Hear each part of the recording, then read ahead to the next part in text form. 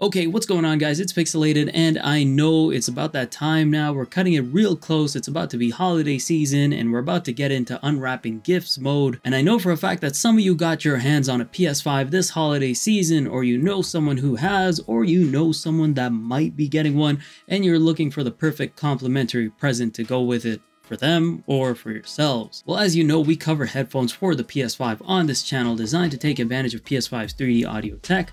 We've covered the Arctis 7P and the Arctis 7P Plus by SteelSeries, as well as Sony's PlayStation Pulse 3D headset, all designed to take advantage of PlayStation's built-in 3D audio engine known as the Tempest 3D audio engine. But what you might not have known is that SteelSeries also offers a premium version of its headset the Arctis Pro Wireless. And something else you might not have known is I've used the word headset way too many times already, Alright, maybe you knew that. Now the Arctis Pro Wireless offers a plethora of features for those of you that might be thinking that the Arctis 7P is lacking in those features, or you just want a headset that is full of features that you would have never thought of yourself. And if you happen to be one of those people, or by the end of the video you decide that this is for you, I've left a link in the description where you can go ahead and check these out. Now let's figure out how this headset stacks up against other PS5 3D audio friendly gaming headphones. But before we do that, make sure to pass by that like button if you happen to enjoy the video at any point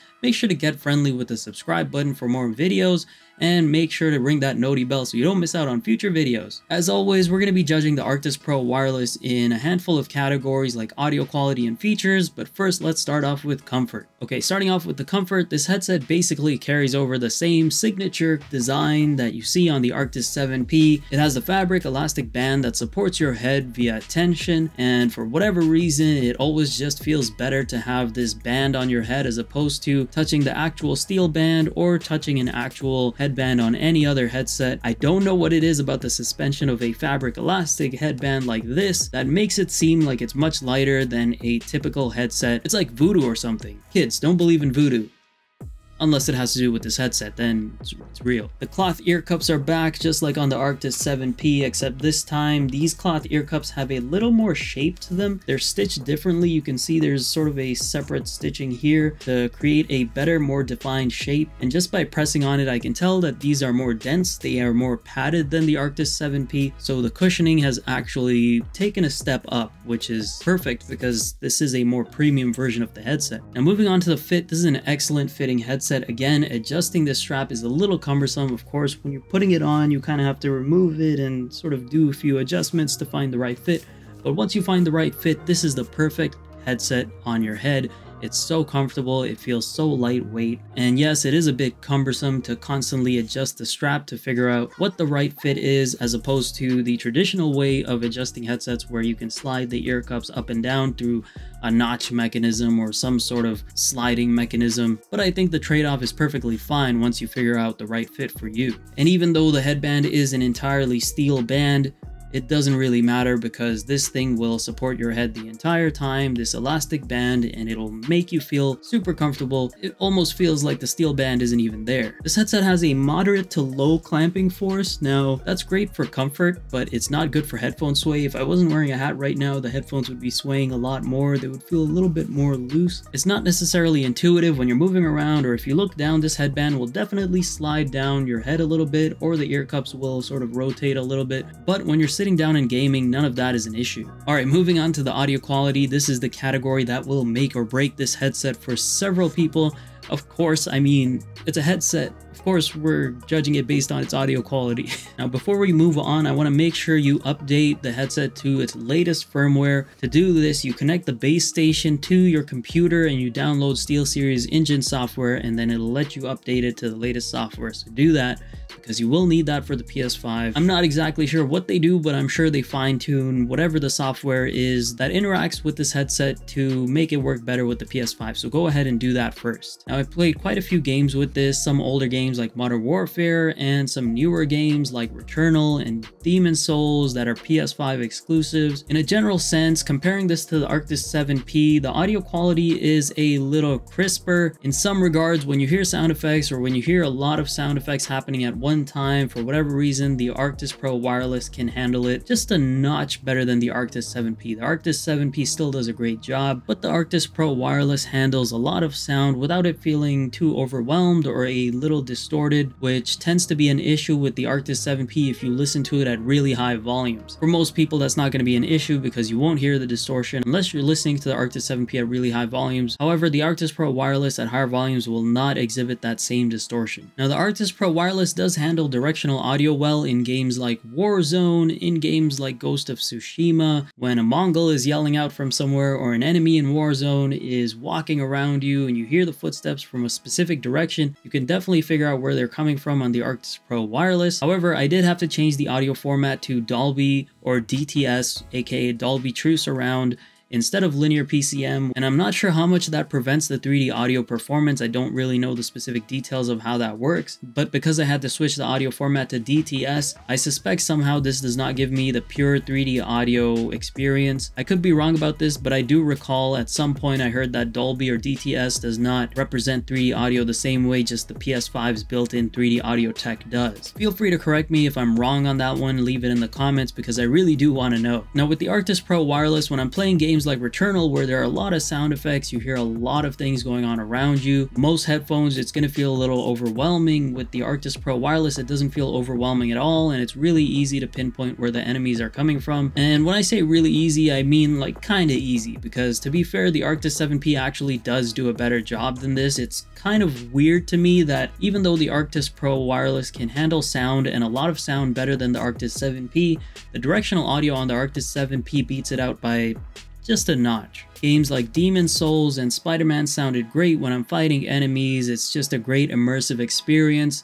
In those games, I didn't really look for too much directional audio, I didn't really need it. You do get it though in games like Demon Souls sometimes, it helps you figure out where the enemy is if they're off screen and you hear them to your right or left or behind you somewhere. Again, this headset shares a lot of similarities with the Arctis 7P, you get great clear, crisp sound effects with rich bass, just an overall great experience, but I still think the Arctis 7P wins out by just a little bit when it comes to directional audio. It almost feels like the Pro Wireless delivers a more pleasing entertainment audio experience, whereas the Arctis 7P has the leg up on competitive multiplayer games for that directional audio. However, the Arctis 7P is also still great for an entertaining audio experience. So if you want to play single player story driven games, it sounds great on the 7P.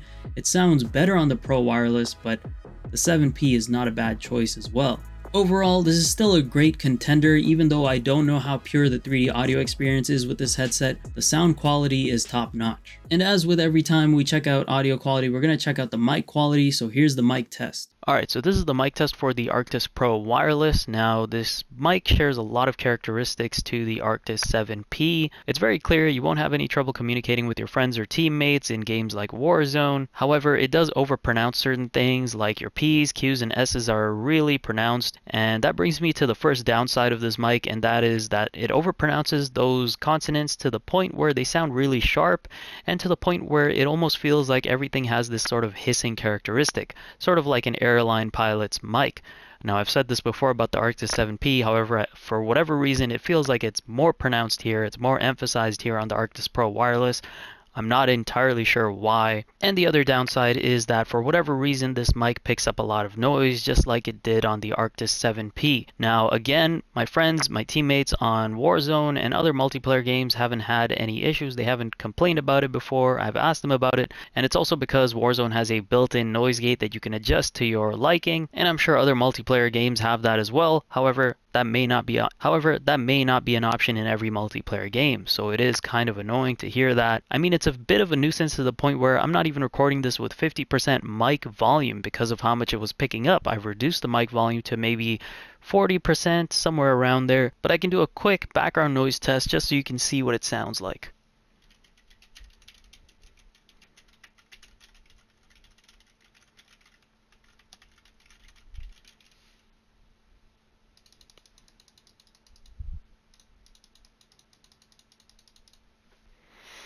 All right, so let me know what you guys think. Okay, that was the mic test. Let me know what you guys think in the comments below. Now moving on to the features, this headset is feature rich and it really puts a lot of headsets in this price range to shame.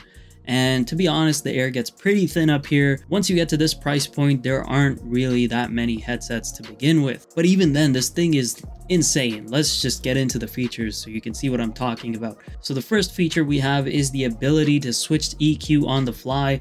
Now this headset comes with a base station that is separate from the headset. That is how the headset mainly interacts with the gaming console and this base station allows you to do so many things. It's such a great design because it basically removes all the buttons on the headset except for this giant grooved mic mute button. And this volume scroll wheel of course it doesn't it's not really a button but you get what i'm saying. Basically all the functionality has been transferred onto the base station. So if you want to switch side tones you want to increase side tones you want to decrease them or you want to increase or decrease the volume you can also do that through the base station. Pretty much everything you used to do with the buttons on your headset you can just do with the base station aside from the mic mute button. And of course the power on and off button you definitely need that on the headset. You can connect multiple audio sources to this headset with the base station station. For example, you can connect the base station to your PS5 and your PC and you can switch back and forth between the two for what to use with the headset. You can connect to multiple audio sources at the same time. For example, you can use the base station to connect to your PC and your PS5 and you can toggle between the two to use with the headset while having your phone connected to it via Bluetooth at all times. So it's perfect for those times where maybe you're waiting for a phone call and you're worried you're to miss it because you're in a heated fight with the homies, but now you're not to miss it because it's connected into the headset itself. Or you can be like me and use it for music or podcasts while you're in like a free roam version of an open world game. I just be weird like that sometimes. Next feature we have are these magnetic ear cup plates that are completely customizable in the sense that you can probably replace it with different design ear cups. Now, of course, this is not a necessary feature by any stretch of the imagination, but it's definitely a nice thing to have and it allows you to personalize the headset the way you want to. Which leads me to my next feature right here and that is the hot swappable external battery. Now this headset comes with two batteries one of which is always in the base station and is constantly charging. Now the battery life of this headset is 20 hours, which is remarkable in its own right, but the number doesn't really matter because if you have your base station plugged in and you have the second battery in there charging at all times, once this one dies, you're just gonna swap to the other one right away, so you could technically play games forever if you don't know what sleep is. Next feature is the intuitive base station menu. I've never felt more at ease using a simpler menu. There's clearly only two buttons on this thing. One is the knob that you can click in and you can twist like a dial to scroll through certain features, and then there's the back button. The other thing this does is it alleviates that chronic issue that every headset that is not made by PlayStation has with the PS5, and that is the lack of system integration. All the notifications, all the icons you need to let you know certain things will always be on the screen of the base station, like if it's connected via Bluetooth or whatever the other features are. you can figure all that out directly through the base station screen. Now this next one isn't technically a feature, but it is on the plus side for me, and that is the fact that you don't need an HDMI audio splitter to connect the base station to your PS5. While it is recommended if you want to connect your PS5 and PC to the base station, if you're just connecting it to your PS5, honestly, you're better off just using the USB cable. And the reason for that is that if you have an HDMI 2.1 display, there's no HDMI 2.1 splitter out there yet. So any HDMI splitter you buy, you're going to be limited to 4K 60 Hz. You won't be able to get that buttery smooth 4K 120 Hz. Of course, this won't won't be a big deal for people who don't have an HDMI 2.1 display, and that is the vast majority right now because HDMI 2.1 displays are really hard to find right now and they're pretty expensive. However, for someone like me who already has an HDMI 2.1 monitor, I cannot see myself using any headset that requires an HDMI audio splitter because I do not want to be limited to 60 Hz on a display that I paid pretty good money for to get that 4K 120 Hz. Another feature is that you can scroll through EQ presets on the fly on the base station and not only that, you can literally customize and make your own EQ preset through the base station. You don't have to go to the software on your PC to do that. You can literally do it straight through the base station. Now, personally, I would still recommend going through the PC software just because it's easier. You don't want to deal with the simplified UI on the base station for customizing EQs, but it is a thing that you can do and it's not difficult at all. So if you're okay with that, you can definitely do it that way. Now, other basic features on the headset include the mic mute button, the volume scroll wheel, SteelSeries proprietary audio jack, which again, don't know when it's going to be useful, but it's there. We have the 3.5 millimeter audio jack for wired connectivity if that's the way you want to go that's just how you roll. And this is where the headset shows its age, it's the micro USB for charging, and of course, that doesn't really matter because it has hot swappable batteries that you're gonna just constantly be swapping out all the time. So you're probably never gonna charge this with a cable throughout its life. Now moving on to the pricing, now while this headset might be rich in features, it's also for the rich. I mean at 450 Canadian dollars or 350 US dollars, it's more than half the price of a PlayStation 5, if you got the PS5 at retail of course. While I do feel it is worth the value when it comes to this headset with the amount of features you get packed into it, you won't really find another headset like this. With the audio quality, the comfort, the customizability through the base station, the hot swappable batteries, you're not going to see that on any other headset and even visually through the replaceable ear cup plates. This headset does not cut corners and neither does it cut the price. While it's a steep pill to swallow if you're looking for a premium headset that has features like connecting to your phone via Bluetooth and being connected wirelessly to your game console at the same time, having access to hot swappable batteries which means unlimited playtime no matter what, and price is no object, then you might be looking in the right place. Now moving on to the design, the design is very similar to the Arctis 7P. Everything is pretty much the same in terms of shape. We've got the same familiar oval ear cups, We've got the same fabric elastic headband design with the steel band underneath. We've got the Velcro strap allowing you to adjust the headband. Swiveling ear cups for easy traveling. You can put this in a suitcase, briefcase, whatever, just flattening it out, or you can just set it comfortably somewhere.